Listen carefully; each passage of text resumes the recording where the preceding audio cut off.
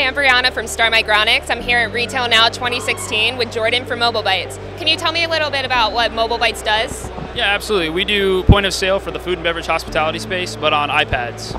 Okay, and tell me about the Star products that you guys are working with.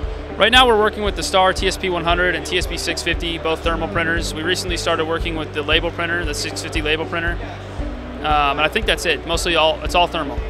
Okay, so for a restaurant and hospitality standpoint, um, what key benefits do the Star printers and the Mobile Byte solution really bring to that market? For one, it's ease of use. Um, they're DHCP out of the box. Our customers can basically plug them in, turn them on, and they'll start working, um, which is fantastic, especially in the restaurant space. Another side of that is the reliability factor. Uh, we haven't had any real outages. They, they print clear and concise. They're, they're just great products. Great, thanks for being with us today, Jordan. Absolutely. Thanks for